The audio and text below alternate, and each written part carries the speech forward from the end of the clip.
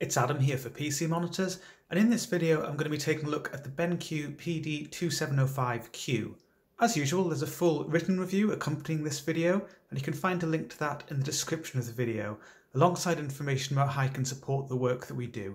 If you're a bit short on time, there's also a quick video review or a mini review if you prefer, and there's a link to that in the description of the video as well.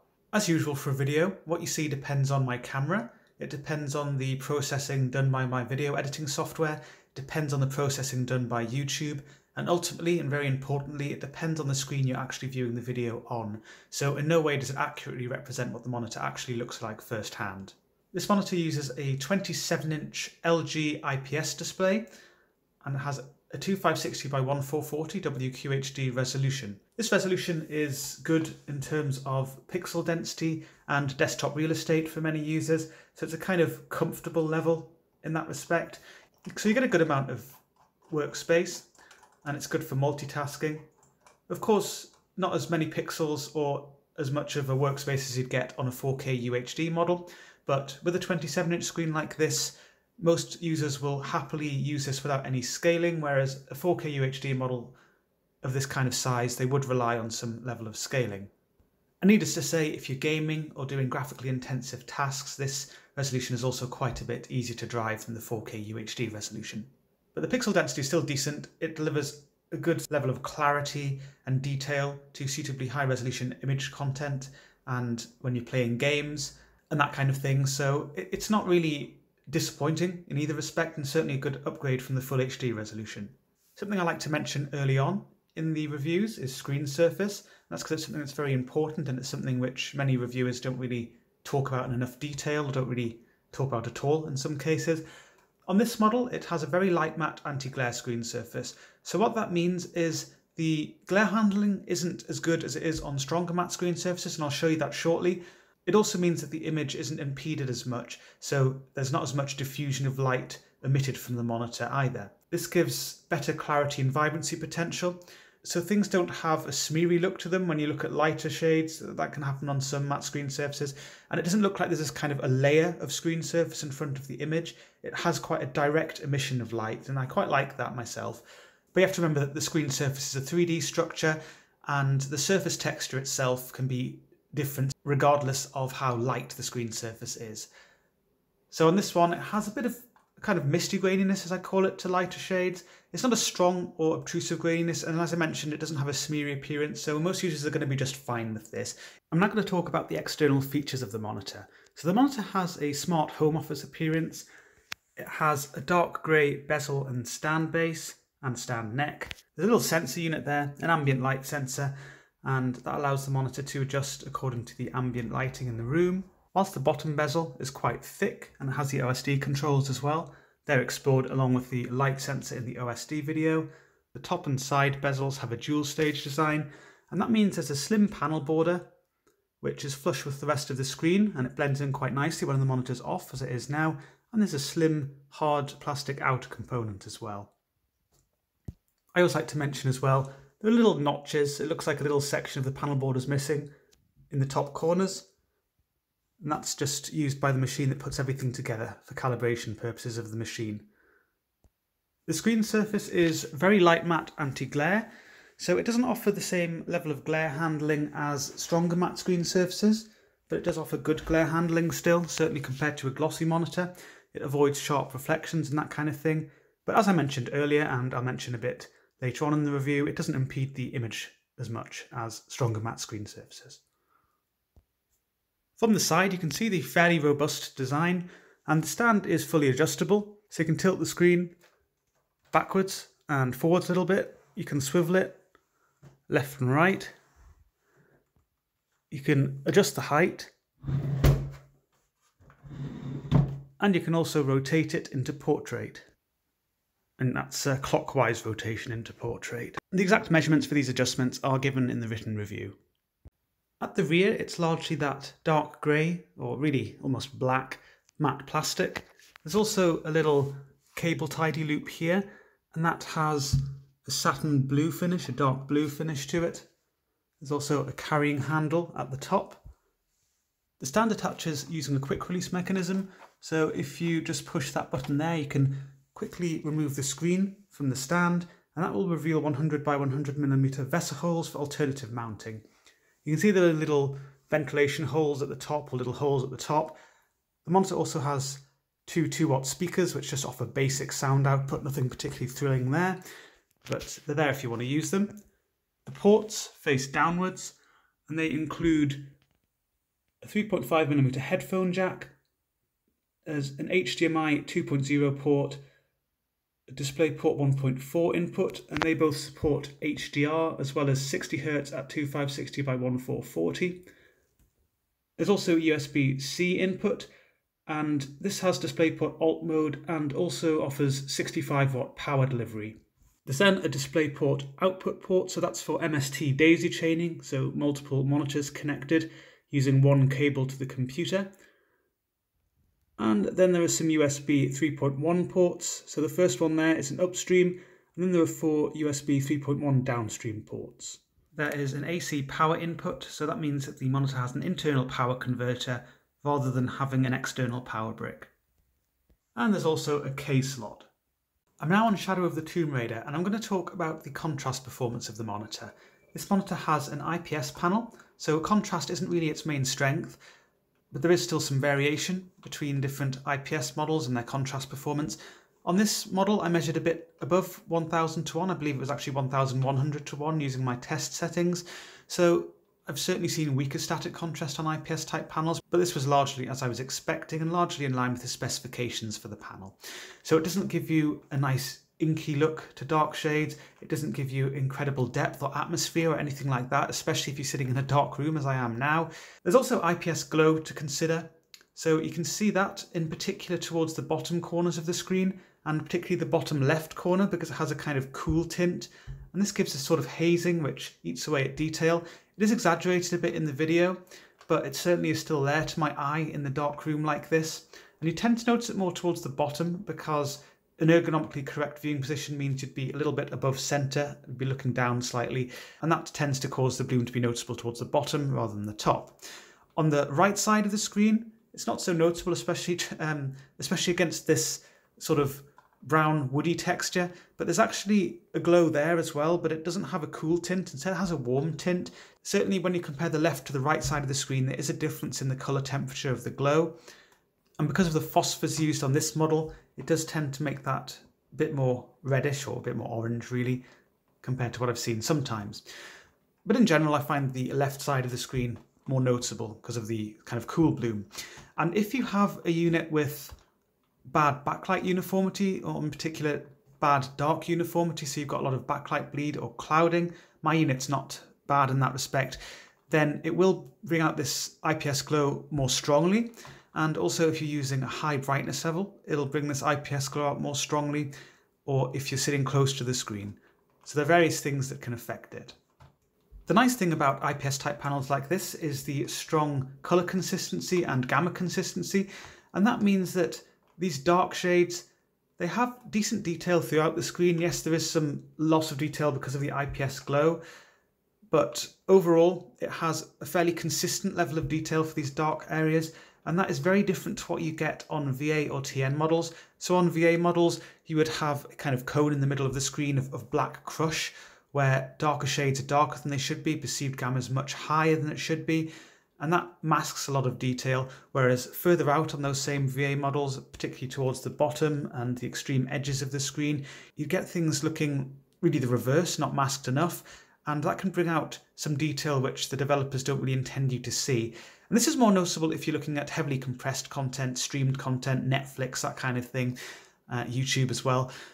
They have so-called compression artifacts and they should be quite blended. And on this screen, they are quite blended. But if you've got the perceived gamma being far too low at some sections of the screen, it brings it out too strongly. This is even more noticeable on TN models. Towards the top of the screen, they're really blended. And for example, the texture on this door here would be really quite, well, not invisible, but, but really a lot more masked than it is here. Whereas towards the bottom of the screen, it would look kind of flooded and it would have too much detail. And again, these compression artifacts, if they're there, they would be quite obvious and it can give a banded or blocky appearance in places. On this, you avoid that. So there certainly are strengths to IPS type panels like this. As I mentioned, the screen surface very light matte anti-glare, so it doesn't have a strong graininess, just a little bit of a, a misty graininess, and doesn't have a smeary or layered appearance. So these brighter elements look smoother than they do on some matte screen surfaces. And it's just nice not having a kind of layered appearance in front of the image as well. I'm now on Lagom, lagom.nl, the website, and the tests for viewing angles. The Lagom text, it appears largely a blended grey throughout the screen, which is really how it should appear. There's a slight green tint to the striping of the text, but it's only slight. It doesn't have a strong saturated green look, and it doesn't have a strong saturated red look elsewhere, and that's what you'd get on TN models and VA models, and it doesn't shift if you move your head either, so it's nice and consistent, and that reflects a good low viewing angle dependency to the gamma curve of the monitor. If you look at solid colours, for example this purple block, it appears a good violet shade throughout, fairly vibrant actually, has slightly more of a pink hue at the very edges, and that's kind of quite normal on models which have dual stage bezel like this, just at the very edges, slightly more of a pink hue. But elsewhere it's pretty consistent and this doesn't always come across properly on the video. Sometimes the video can make it look like it looks different in the middle of the screen, but really it, to the eye, it's very consistent aside from at the very edges. And this is very different to what you'd see on TN models where you'd have an obvious gradient from top where it looks kind of a deep purple shade and it becomes kind of violet and then more of a pink hue towards the bottom, a very strong pink hue. And VA models, you can have shifts as well, comparing the center to the edge of the screen, which are more pronounced than you get here. The red shade, good vibrant red throughout, nice vivid red, really solid, no complaints at all here. Same with the green shade, it is a saturated green chartreuse shade throughout, and it has a bit of a yellowish hue, more of a yellow hue than it would on models with more extension in the colour gamut in this region, but that's not really anything to do with colour consistency, that's really a separate issue. And by the same token, some models make this look more of a yellow-green hue, so this one it looks largely as it should really, and it's nice and consistent throughout the screen. The blue block, a good royal blue shade throughout, no complaints here. I'm now on Battlefield 5 and I'm going to talk about colour reproduction using some in-game examples. This monitor has a colour gamut which extends a bit beyond sRGB, but more so in some regions than others. And it's particularly for the red shade that it extends more beyond sRGB. And for content like this, I'm running the game in SDR at the moment, it's designed with the sRGB color space in mind, so if you have extension beyond that with the monitor's gamut, then you do get extra saturation. And in general, it gives a more vibrant appearance, but it does kind of overblow some shades, or it can overblow some shades and make them appear noticeably more saturated than they should appear. But this is quite different to if you just increase saturation digitally, so you use the saturation control in the monitor's OSD, or if you use NVIDIA's digital vibrance control or something like that. So what digital saturation controls like that do, they pull shades close to the edge of the gamut without expanding the gamut itself. So the most saturated shades are exactly the same, whereas the ones that are a bit less saturated than that become more saturated than they should and things are crushed together. You lose shade variety and it gives a very cartoonish look to things, especially with extreme adjustments. On this, you don't get that. It's more of a natural boost in saturation. But as I said, the reds really are pushed further in the gamut. So for these autumnal colours, they look a bit too reddish and there are some woody tones as well which don't look as neutral as they should, so they have a bit of a red push. But it's not extreme. I've certainly seen models with more extension in the red region of the gamut and they really push things to more of an extreme. As you can imagine, this scene is actually very good for highlighting the extension in the reds in the gamut. This fire here, very convenient, very uh, nice warm look to it, very vibrant, but some of the oranges verge too much on red, some of the yellows a bit too much on orange, um, but the shade variety is still maintained, so you get a nice array of yellows and oranges and reds. It just looks a little bit overdone, but some people will quite like that. It certainly has a vibrant look and it's quite eye-catching. The nice thing about the gamut on this model is that the greens don't extend so much. There's a bit of extension in some regions, in the, in the green to red region, but the extension overall for the green shade isn't as much as it could be. So I actually measured 85% DCI-P3 colour space. The reds correspond very closely to DCI-P3 for the colour gamut, but the greens, they actually stick closer to sRGB than DCI-P3. So this means that the, the greens actually look quite natural some of the greens, some of the deep greens aren't as lush as they could be on models with a wider colour gamut. But then again, you can have some bad effects with that as well because some of the greens that have quite a strong yellow hue, you don't get them on this scene in particular, but there are some greens on this game and other games which have more of a yellowish hue and that can be brought out really strongly and it can look quite neon and quite artificial, those kind of shades. On this model you don't get that, so things actually look more natural in that respect. So it's quite an interesting gamut, a bit different to models I've looked at recently, uh, even wide gamut models, but it's quite interesting. And I think it's a look that many users will quite like. It's not for everyone though. And of course the shade representation can be affected not just by the colour gamut, but the gamma setting you're using. This monitor has different gamma settings. It's worth being aware that my unit actually had gamma which was a little bit higher than 2.2 or a little bit lower depending on which setting you were using. It wasn't possible to get perfect 2.2 gamma tracking on my unit using any OSD settings. And I have to say that was a bit disappointing actually given that this monitor is one of their designer monitors and a strong factory calibration is really part of the marketing for this. So I'm afraid you can't always rely on that. And in my case, it wasn't really to be. I think most units probably do have better gamma calibration than mine, and mine wasn't far off. It just means that some shades look a little bit deeper than they should. This is explored more in the written review. It's not something I'm going to bang on about too much because, as I said, there is difference between units there, and it's not an extreme issue. But if you are looking for really strong color accuracy, then you do have to be aware of this. But really, for the best results, you want to profile the monitor with your own colorimeter or spectrophotometer. That's something I'd say on any monitor, regardless of how good the gamma might seem to be out of the box anyway. But speaking of out of the box and what you can do in the OSD, there's also an sRGB emulation setting. So if you go into the menu and I was reaching for a joystick there, there isn't a joystick on this one, they're just pressable buttons, the bottom there and then go to and then go to picture advanced, picture mode, Rec 709 and sRGB. They're both sRGB emulation settings and that's explored in the written review. I'm just going to use sRGB because it's a bit brighter and I find it a bit better balanced overall. The gamma is also a bit less extreme. So this tones down the color gamut, so it corresponds closely to sRGB, very closely to sRGB. So those the brown shades now look more appropriate. It doesn't look as vibrant, but it really kind of looks more as the developers intend, and it gets rid of that strong red cast to some of the neutral browns, so they look more neutral, more woody.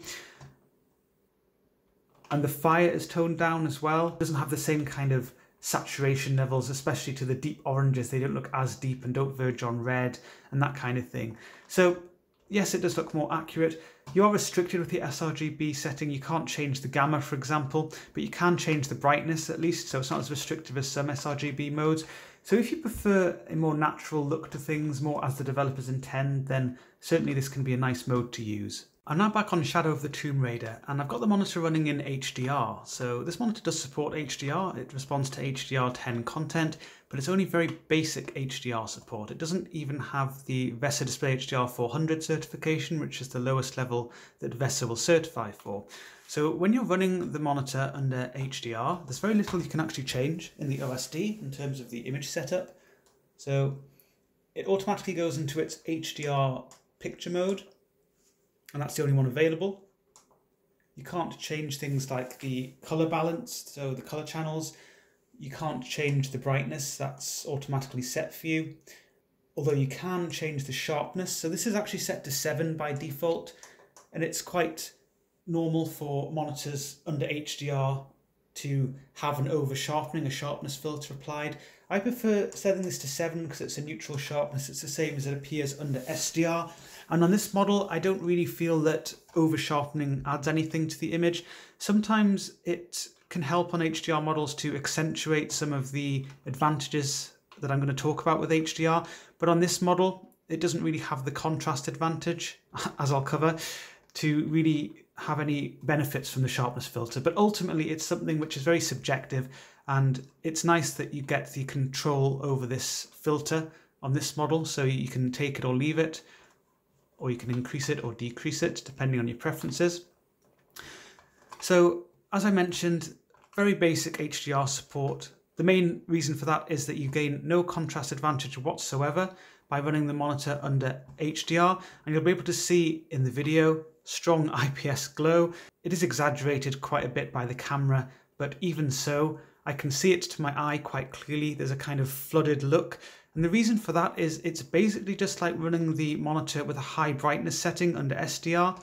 You don't even gain any extra brightness, but you just have the whole backlight acting as one unit. There's no local dimming and that means that it can't account for intricate mixtures of light and dark. There is a dynamic contrast element and it's an enhanced dynamic contrast which means that it responds to metadata from the HDR content so it can control itself with a bit more precision than a normal dynamic contrast setting would. But either way, it's still just a dynamic contrast setting. You're not getting local dimming, you're not getting a boost in contrast, and you're not getting really strong HDR luminance levels anyway. So basically, your dark elements don't look particularly deep or atmospheric. The bright elements don't really stand out with great pop. Things, as I said, really just look as they do under SDR with high brightness. So why would you want to use this setting? Well, there are some advantages. One thing is that it allows a 10-bit color signal to be used that is used under HDR, whereas when gaming under SDR and most SDR content in general, you just have 8 bits per channel. And this increases the nuanced shade variety when you have this 10-bit color signal.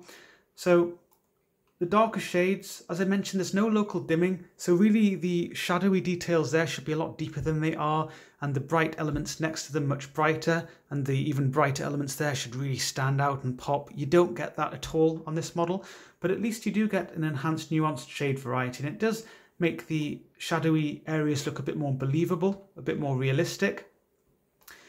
And it also affects shades at the upper end. And actually, it affects all shades, but it's just generally more noticeable at the lower end, as I mentioned there, but also the upper end. So the mist here and the rays of light, on the camera, it just appears like a big ball of light. or On the video, it just appears like a big ball of light, but actually there's a good nuanced shade variety there. There's some really very bright shades and less bright shades all together with nice smooth gradients. So that is something which is really enhanced by HDR.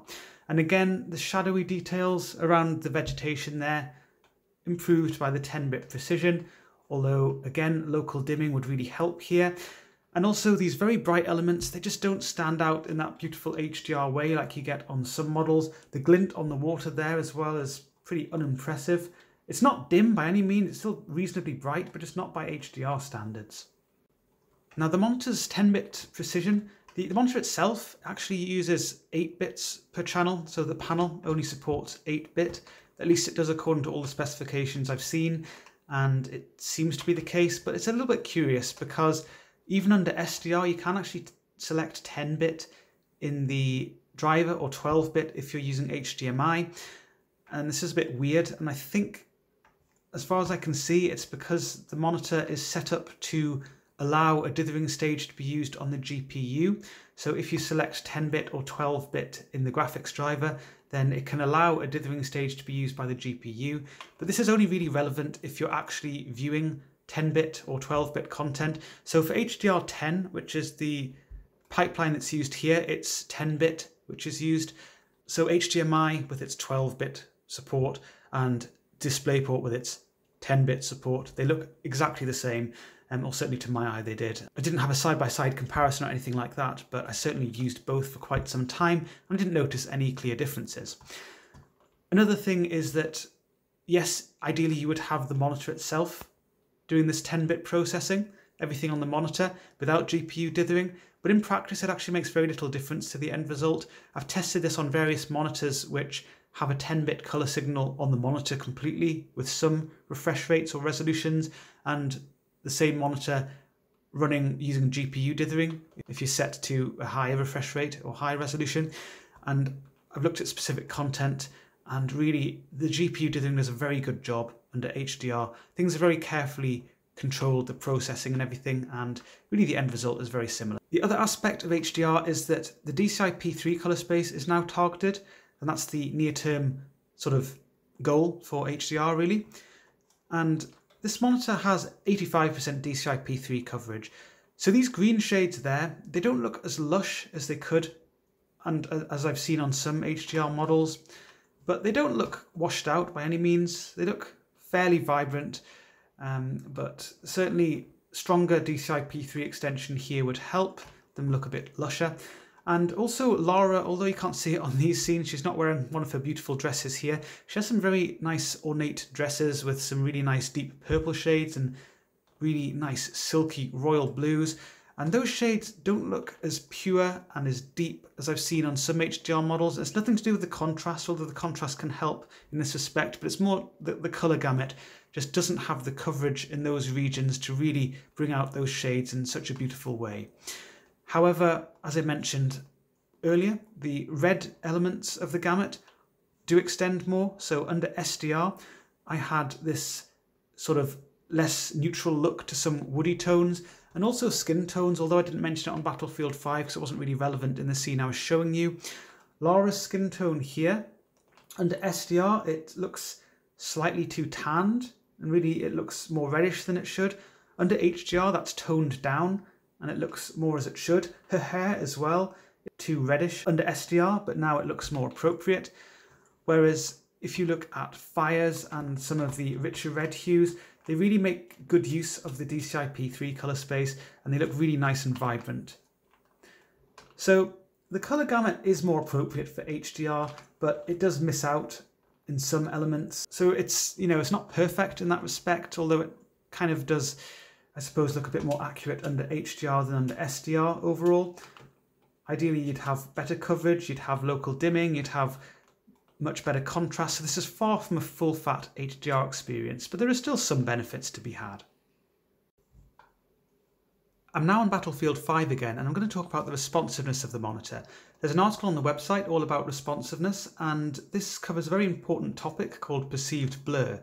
So there are two main contributors to this on a monitor. One is the movement of your eyes as you track motion on the screen and the other is pixel responsiveness. But it's actually this first element of perceived blur, which is dominant on modern monitors like this. And it's something that's closely tied to refresh rate. So when you've got a 60 hertz monitor like this, and I've got the game running at 60 frames a second, so I'm getting the most out of this monitor in terms of responsiveness, it means that you get a moderate amount of perceived blur due to eye movement. Your eyes spend a lot of time tracking the motion on the screen, they're spending a lot of time moving, and this generates a lot of blur. And then again, that's all explored in this article, and it's also summarized in the written review. This element's exactly the same on a much faster 60 hertz monitor than this. So say a really well-tuned TN model running at 60 hertz, for example, would have much faster pixel responses, but you're still going to get this kind of mask of perceived blur. So overall, this is definitely the dominant factor. And this 60 hertz experience also really limits the connected feel. So that is the fluidity, the precision you feel when you're interacting with the game world.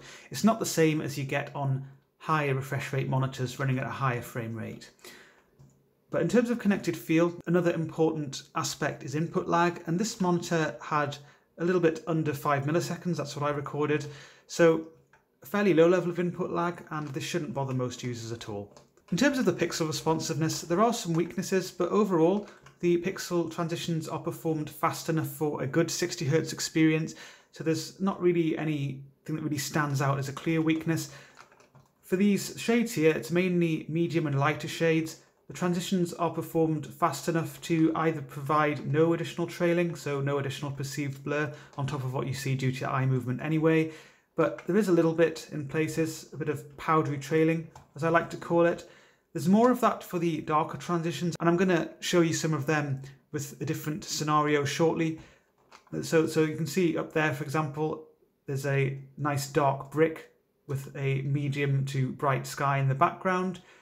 And this creates a bit of this, what I call powdery trailing, but it's not smeary, so it doesn't kind of extend out quite far from the object and create this kind of smoke-like effect as you can get on your typical VA model. There's a bit of overshoot as well, inverse ghosting, but that's really only a very slight thing. It, it really doesn't catch the eye at all on this model. So there's a little bit of halo trailing, inverse ghosting, and that is brighter than the background or object color. That's what halo trailing is. To the left of this object there, for example. And it's probably not going to come across in an obvious way on the video because it really, it's not obvious. Um, it's not eye-catching at all.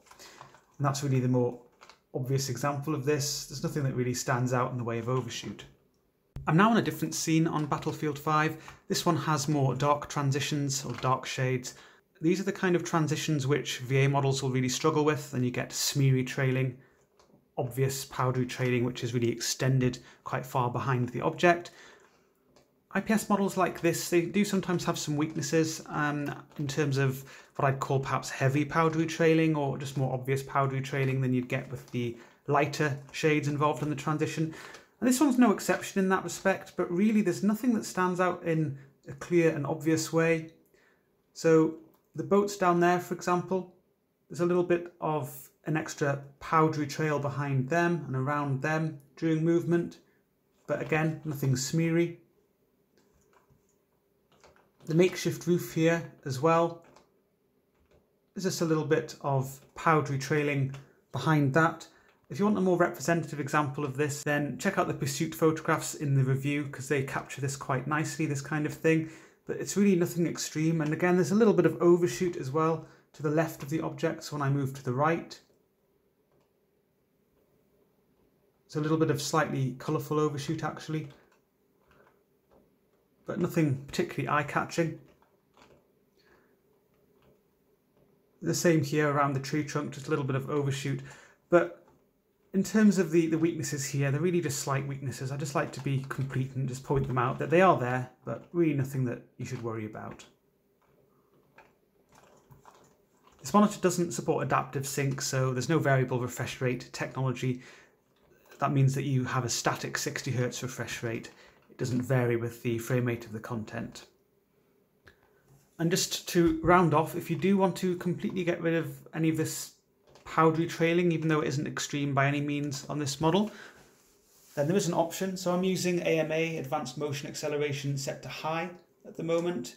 That is clearly the optimal setting to my eye. But if you want, go into the picture section of the menu, AMA, set that to premium. And what that does is it gets rid of the powdery trailing, but instead it puts this extreme overshoot, which is going to look like some crazy disco going on in the video. So I think you'd have to be a bit of a psychopath to actually enjoy this kind of look to the image, even if it does get rid of that slight powdery trailing. I guess if you want a supreme competitive edge, then you could argue that this is slightly better. It does give you slightly lower perceived blur overall, but honestly, I think that this is a lot more distracting than the slight powdery trailing, which is the alternative. To wrap up then, the monitor is solidly built, it has a smart home office appearance, quite an unfussy design really. It does have a little light sensor beneath the BenQ logo there, but that is not a feature which I found much practical use for. And that's because it is a one size fits all approach that they use here. You can't adjust the brightness. It does everything itself. You can't say that I want to limit the brightness to this or for my eyes I prefer this kind of brightness and this kind of ambient lighting condition. So that kind of approach is completely flawed in my view, and it's quite a common approach taken on monitors that have ambient light sensors, and for that reason I don't find them particularly useful. More useful was the ergonomic flexibility, the fully adjustable stand, that's a nice thing to have.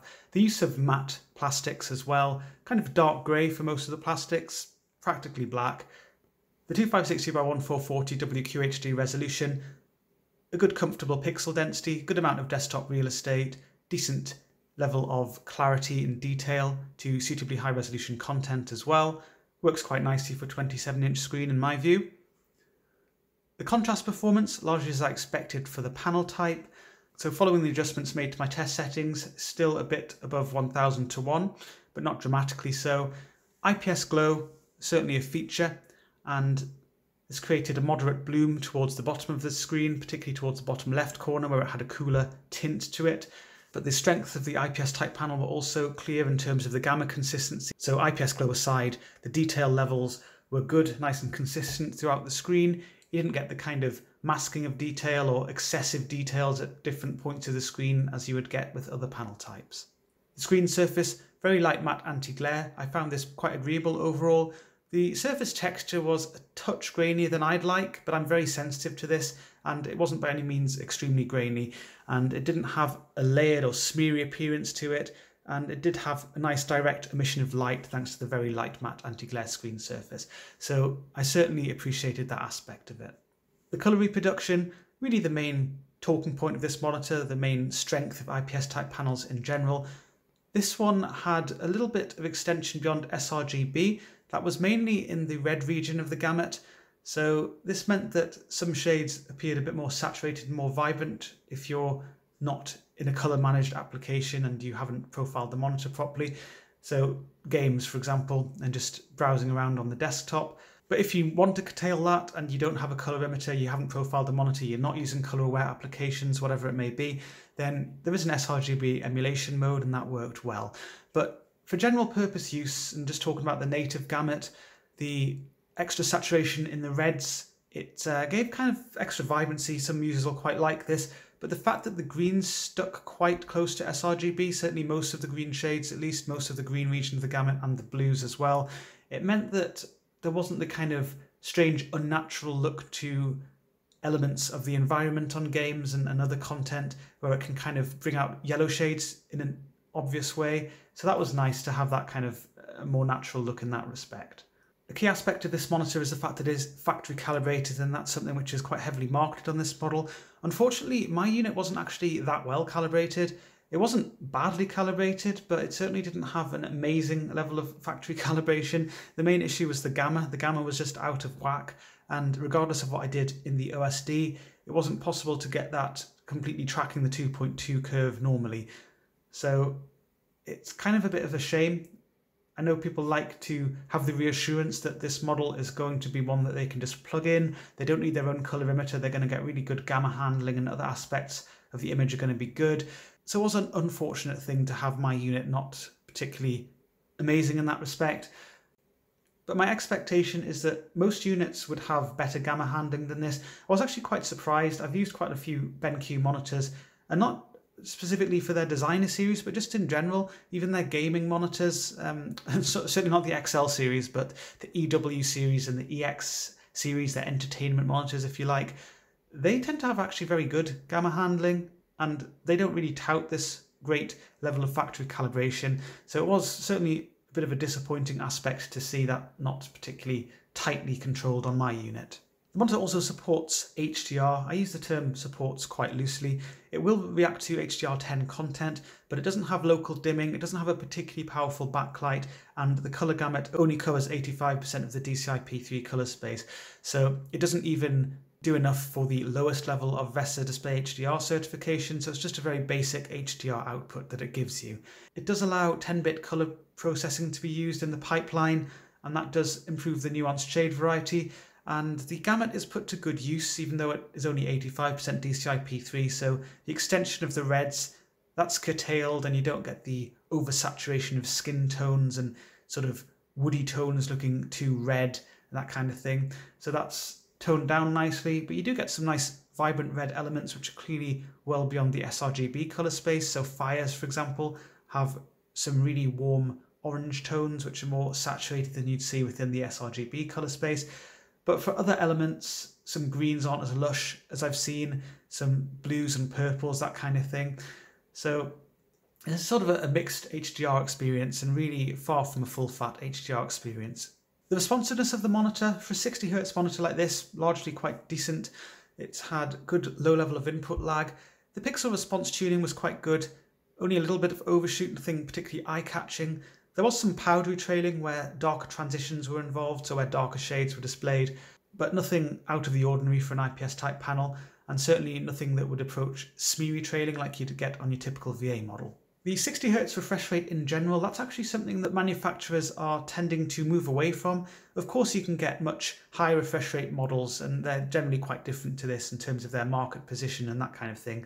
But even so, a lot of manufacturers are moving away from 60 Hz to 75 Hz as their kind of lower refresh rate.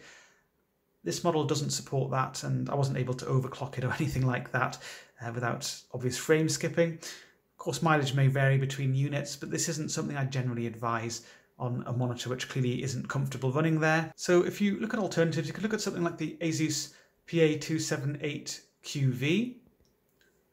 That offers a 75 Hz refresh rate. It also has adaptive sync, variable refresh rate technology, which this model doesn't have. So if you're interested in those kind of features and you want a at least supposed good factory calibration. It's not a monitor I've tested myself, but I have had some good positive user feedback about it. Definitely consider it. It's also somewhat cheaper than this model, so it should certainly be on your radar. I don't have enough data to fully endorse the product, and I don't generally like fully endorsing products unless there's a lot of data or I've tested them myself. So there is that, but I, I would I'd still definitely look into it, and especially if you're interested in a monitor that's kind of like this but supports 75 hertz and has adaptive sync on the side as well. There's also the Dell U2719D, which you can overclock to run at 75 hertz. Mileage again may vary. Really, the, the capability of that monitor is a little bit different to this. The color gamut's not quite as wide. The screen surface is not as light, but I have a lot of data on that and I've tested it myself, and the factory calibration is usually very solid. So that's really all there is to the BenQ PD2705Q, be sure to check out the full review on pcmonitors.info. There's a link to that in the description of the video, alongside information about how you can support the work that we do.